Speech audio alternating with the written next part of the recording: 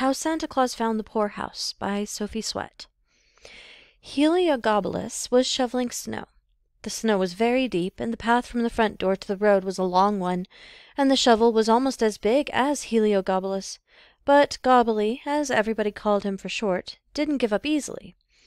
You might have known that he wouldn't give up easily by one glance at his sturdy little figure, at his bright, wide open eyes, his firm mouth, and his square, prominent chin. Even the little turned up end of his nose looked resolute.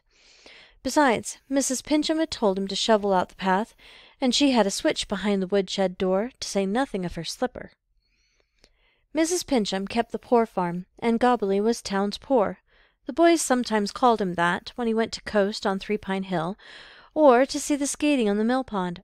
and sometimes, too, they made fun of his clothes.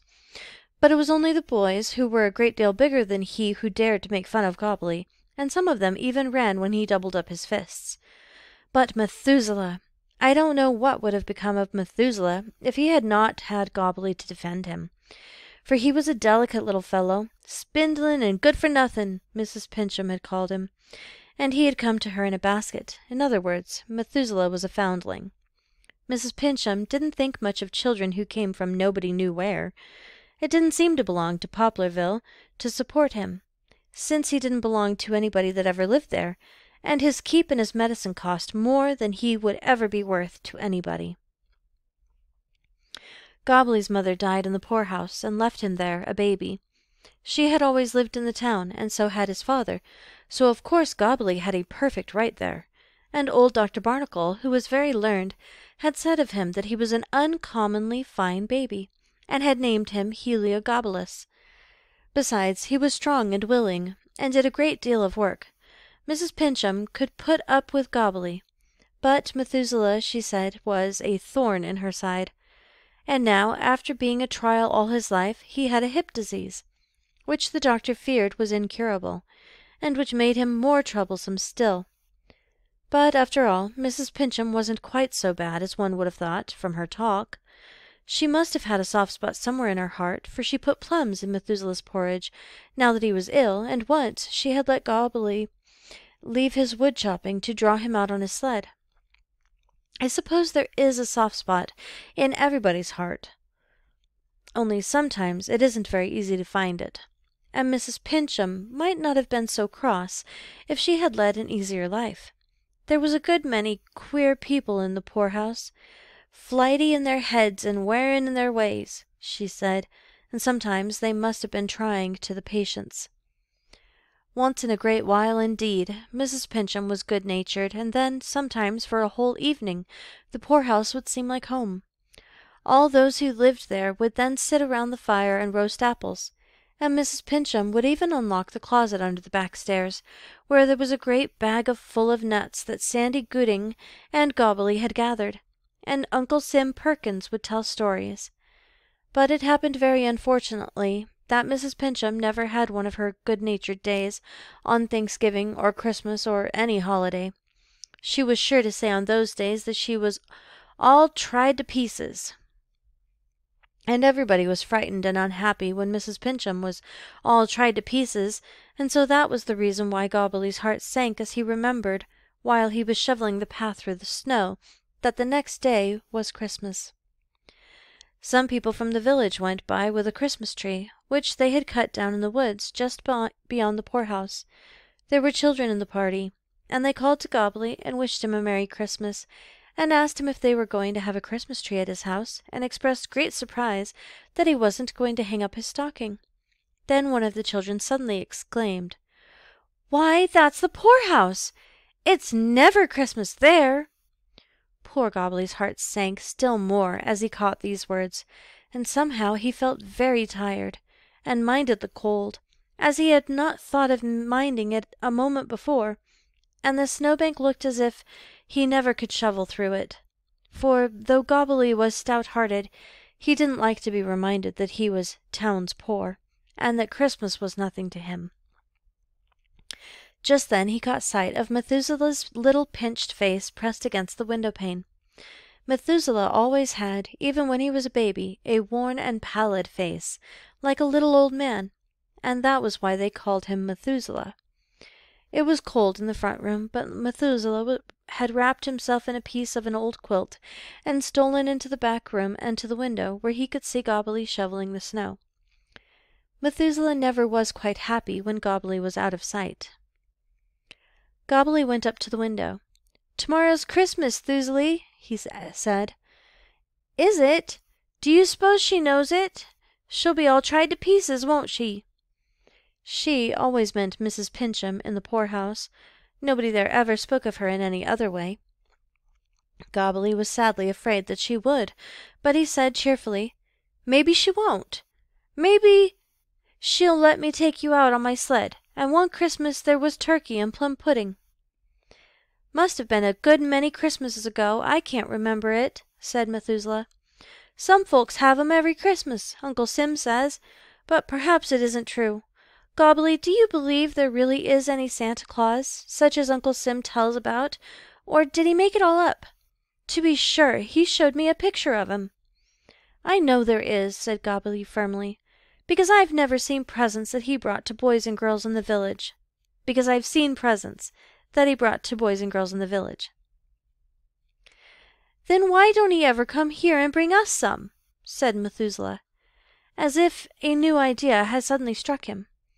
"Do you suppose it's because we're worse than any other boys in the world? She says we are, sometimes, or maybe he's too proud to stop at the poorhouse." "Perhaps he can't find the way," said Gobbly, "'cause it's a pretty crooked road, you know. Or maybe he wouldn't think it was worth the while to come so far out of the village just for us. He wouldn't be going to Squire Thorndyke's, because there aren't any children there, and there aren't any other houses on this road. I wish we lived where there was a truly Christmas, like places where Uncle Sam has been, don't you, Gobbly? Maybe he makes them all up, though. It seems if they must be too good to be true. I shouldn't wonder if you got lots of plums in your porridge to-morrow, and perhaps a piece of mince pie. And I'll ask her to let me take you up to Three Pine Hill on the sled. Gobbly always showed the bright side of things to Methuselah, and he had become so accustomed to looking for a bright side that he could find one when you wouldn't have thought there was there was any there. And whenever he found a very big lump in his throat he swallowed it for Methuselah's sake, and pretended that he didn't see anything in the world to cry about. He had to go back to his shoveling then, but after he had started he turned back to say, "When I'm a man you shall have Christmases, Thusalie." It was in that way that Gobbly often comforted Methuselah. It never seemed to occur to either of them that Thusalie might possibly grow to be a man too. Gobbly went to work at the snow again, as if it were not a bit bigger than he was, and he soon had a rampart piled up on each side of the path, so high that he thought it must look like the Chinese wall which Uncle Sam was always telling of. As he was digging the very last shovel of snow out of the path, he heard the jingle of sleigh bells, and saw the butcher's wagon, set upon runners and drawn by a very frisky horse, going in the direction of the village.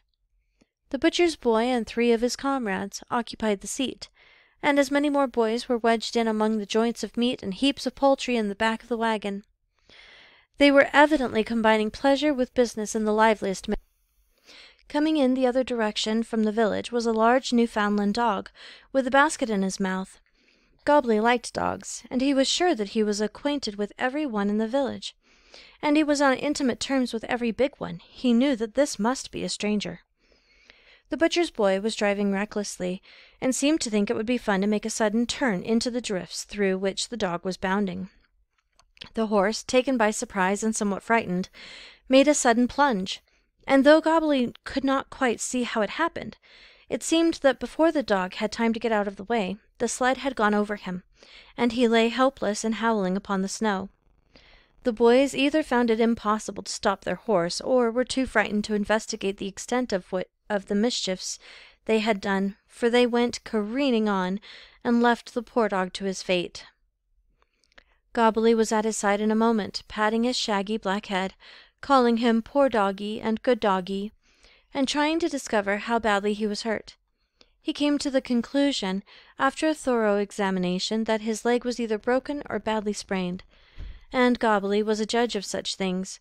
He had once doctored a rooster's lame leg, and though the rooster was never again able to mount a fence and crowed with diminished energy, he was still able to cheer his heart by fighting the three other roosters all at once, and was likely to escape the dinner pot for a long time to come, though his gait was no longer lordly.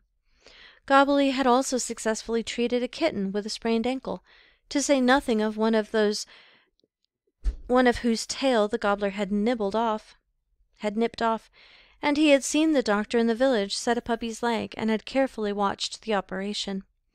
He helped the dog along toward the house, and it was well that he was a strong and sturdy little fellow, or he could not have done it, and managed at last to get the poor creature unobserved into the woodshed. He was very much afraid that Mrs. Pincham, if she should see him, would order him to leave the dog in the road, and he knew it would not do to carry him in, in beside the kitchen fire, as he wanted to, for Mrs. Pincham never wanted a dirty dog in her clean house. Gobbly found it hard to decide whether the bone was broken or only out of place, but he made a sort of splint, such as he had seen the doctor use upon the puppy's leg, and then wound soft cloths wet with liniment about it, and the dog certainly seemed relieved, and licked Gobbly's hand, and looked at him with grateful eyes. He ventured into the house after a while, and beckoned to Methuselah to come out to the woodshed. Methuselah was convinced that Santa Claus had sent the dog to them as a Christmas present, and his delight was unbounded. Of course Santa Claus must have sent him, or why would he have come down this lonely road all by himself?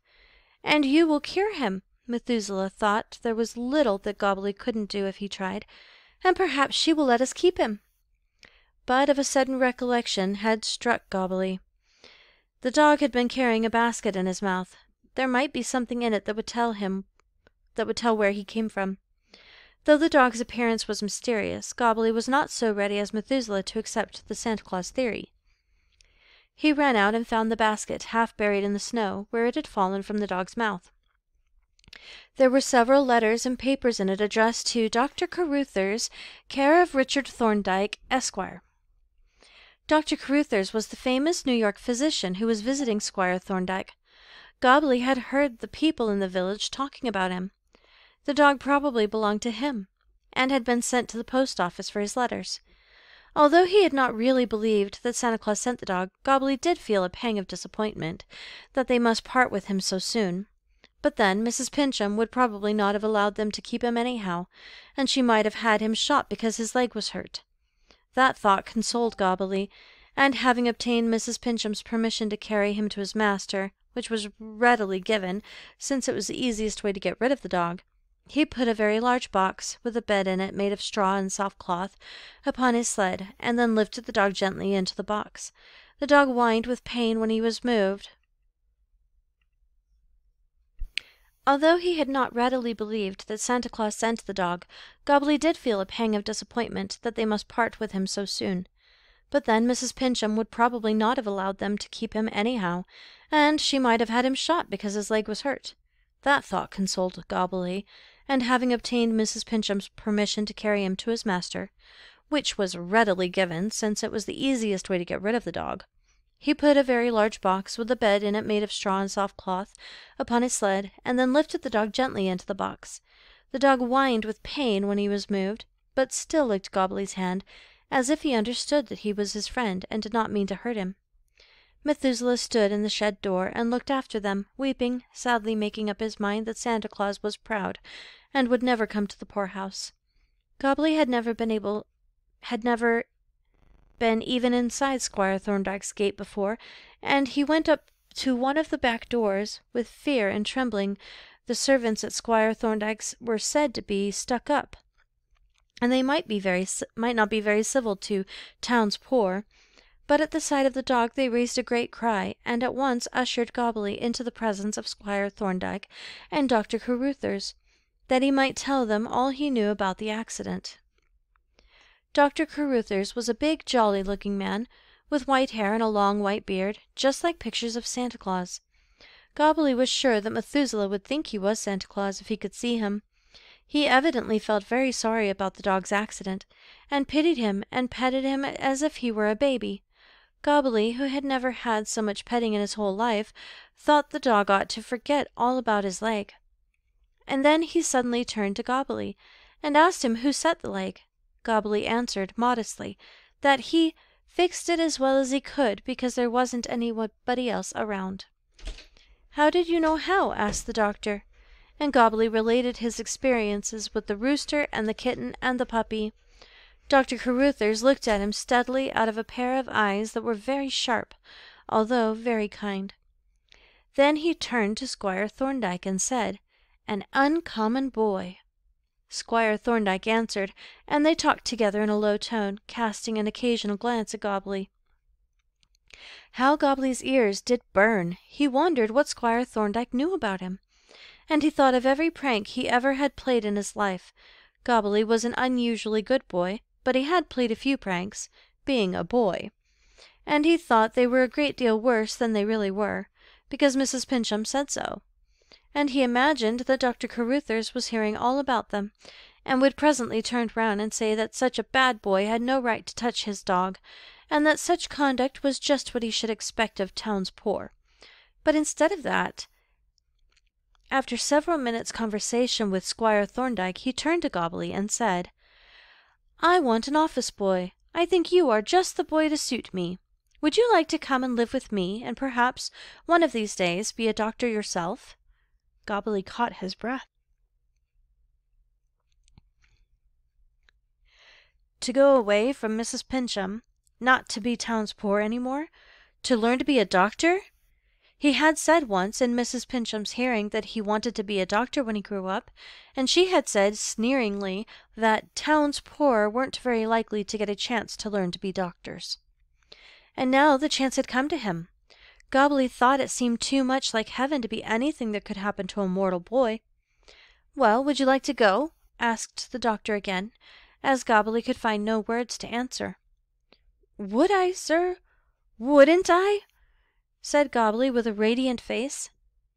"Well, then, I will make an arrangement with the selectmen, which I have no doubt it will be easy to do, and will take you home with me to morrow night," said the good doctor. But the brightness had suddenly faded from Gobbly's face. He stood with his hands thrust into his trousers pockets, gazing irresol irresolutely at the carpet. But it was not the carpet that Gobbly saw. It might as well have been the yellow paint of the poorhouse floors, for all he noticed of its luxurious pile and beautiful colors. It was Thusley's pale, pinched little face that he saw. It had risen before him even while the doctor was speaking. If he went away, who would take care of Thusley? And Thusley's heart would be broken. I, I can't go, sir. I forgot. No, no, I can't go, said Gobbly. Oh, what a lump there was in his throat! He had swallowed many a lump for Thusley's sake, but that was the very biggest one. And then he turned and ran out of the house without any ceremony. He knew it was rude, but that lump wouldn't stay down, and though he might be called town's poor, he wasn't going to be called a crybaby. And home he ran as fast as his legs would carry him. That night something very unusual happened. Mrs. Pincham went to the village to a Christmas festival. She went before dark, and the spirits of everybody in the poorhouse rose as soon as she was out of sight. Mr. Pincham piled great logs upon the fireplace till there was such a roaring fire as had not been seen there for many a long day, and he told Joe Golightly and Gobbly to go down cellar and bring up as many apples as they wanted to, and he found the key of the closet where the bag of nuts was kept, and Sandy Gooding brought out some fine popcorn that he had saved up, and Joe Golightly brought out his violin, which, though some of its strings were broken and its voice was a little cracked and wheezy, could yet cheer one up wonderfully with Bonnie Dundee and The Campbells Are Coming. Everybody was merry, although there was no Christmas tree, and nobody had a present except Thusley, who had a big red peppermint drop that Gobbly bought him with a penny hoarded for six weeks. And it would have been a very pleasant evening if there had not been one great drawback. Mrs. Pincham had a way of pouncing upon people when they least expected her. If a window rattled or a mouse stirred in the wall, a hush fell upon the mirth, and everybody shrank with dread. It would be so like Mrs. Pincham to suspect that they were having a good time, and turn back to put a stop to it before she had fairly reached the festival. Just as they had poured out a popper full of corn, popped out so big and white that it that it would do you good to see it, and Uncle Sim was clearing his throat to begin a story, there came a loud knock at the door. Everybody jumped. Mr. Pincham and Sandy began to cram the apples into their pockets and thrust the corn popper into the closet, and Joe had his violin under his coat tails. It took them fully all fully two minutes to remember that Mrs. Pincham never knocked.